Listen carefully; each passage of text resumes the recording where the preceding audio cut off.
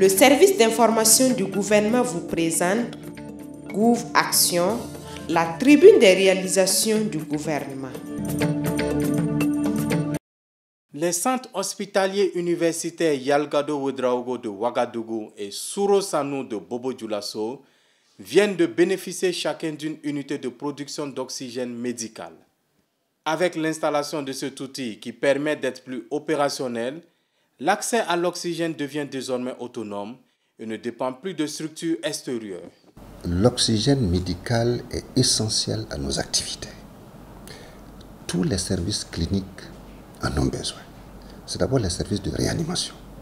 Vous voyez, ce sont des malades qui sont en insuffisance respiratoire aiguë, qui ont besoin de ce gaz précieux.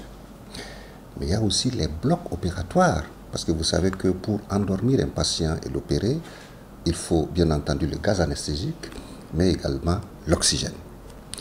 Vous avez ce que nous appelons les soins intensifs, hein, les services de soins intensifs, qui ne sont pas dans la réanimation, mais qui sont dans les services qui en ont besoin. Et à côté de cela, nous avons euh, certains services spécifiques qui en ont besoin.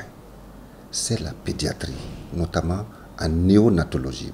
Et puis vous avez l'ensemble des services d'urgence. Donc vous voyez que tous ces services-là en ont besoin, particulièrement ce groupe-là. Et quand l'oxygène vient à manquer, euh, les cheveux des praticiens se dressent, mais également le moral des malades tombe. Nous avons connu par le passé des périodes de rupture et vous avez suivi un peu toute la cohorte de, problèmes et de complications que, que ça pose. C'est pour cela, je pense que pour nous, euh, euh, praticiens, ce projet est, est salutaire. C'est également un ouf de soulagement pour les financiers, parce que cela va impacter positivement sur la balance financière de l'établissement. Parce que la dépendance extérieure coûte excessivement cher. L'autonomisation va permettre à l'établissement de faire face un peu euh, aux besoins à moindre frais, aux besoins en oxygène. Et je crois que ça a été une grande vision euh, de nos autorités de tutelle. Et bien entendu, pour nous les praticiens, c'est vraiment un bonheur.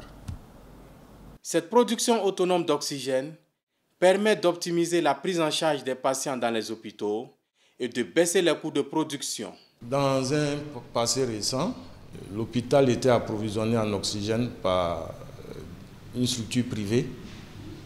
on avait des contrats annuels d'approvisionnement. Et bon, cette structure produit l'oxygène à Ouaga. Vous voyez, Ouaga, Bobo, il, peut souvent se poser des problèmes de logistique, de transport. Bon, souvent, il, arrivait qu'on tombait en rupture d'oxygène, ce qui compromettait la prise en charge de certains patients. Mais avec cette unité, on a l'autonomie de la production. Je pense que c'est vraiment un grand avantage. On a la baisse des coûts, des coûts de production. On a la réduction effectivement des, des cas de rupture qui peuvent être liés aux problèmes de logistique ou d'approvisionnement. Et on a une optimisation de la prise en charge des patients. À moyen terme, nous voulons faire les canalisations, c'est-à-dire du site aux différentes unités, afin que euh, du site on puisse distribuer l'oxygène directement au, chevet des malades. Une équipe de techniciens qualifiés a été mise en place pour assurer la production de l'oxygène médical et la maintenance des équipements. Cette fabrication, ça commence d'abord au niveau des compresseurs d'air à notre niveau ici. Au niveau de la station de traitement ici, ça commence au niveau des compresseurs. C'est les compresseurs qui compriment, qui attirent l'air ambiant Ensuite, ça passe par les filtres pour filtrer cette terre-là pour enlever les impuretés au niveau des filtres. Une fois que c'est filtré maintenant, ça fait un stock dans les réservoirs de l'air que ça tiré au préalable et que nous appelons ici l'air médical.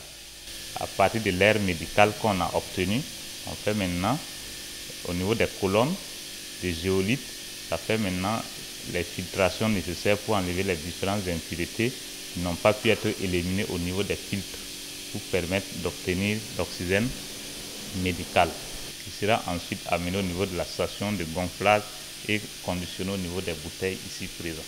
Notre besoin moyen actuellement est de 40 bouteilles par. Pour ce qui concerne l'entretien de ces machines, quand les appareils, les machines ont été installées et le prestataire a formé les techniciens de l'hôpital, Bon, à l'heure où on vous parle, les appareils sont sous garantie, mais après la garantie maintenant, nous allons prendre la maintenance de ces équipements, en préventive comme curative là, en mai. Voilà, on a suivi la formation, l'installation, et bon, je crois qu'en tout cas, après la, garantie, nous allons être capables d'entretenir l'équipement.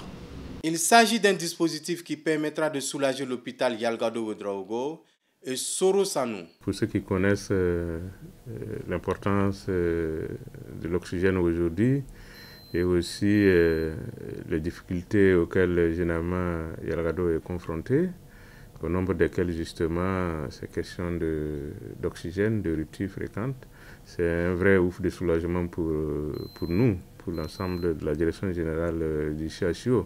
Normalement dans les grands hôpitaux, hein, notamment l'hôpital de référence nationale et de dernier recours d'un pays, ce type de dispositif devrait automatiquement exister. Il faut se dire qu'aujourd'hui, euh, l'oxygène médical, ce n'est plus comme avant où ce n'est que deux ou trois services qui en ont besoin. Aujourd'hui, presque tous les services cliniques ont besoin de dispositifs d'oxygène dans leurs locaux. Dès que quelqu'un a un problème, euh, un besoin d'assistance respiratoire, que tout de suite on puisse le faire sur, place. Et l'oxygène est devenu essentiel, sinon plus essentiel que certains médicaments dans la prise en charge adéquate d'un malade dans une grosse structure comme Yalagado.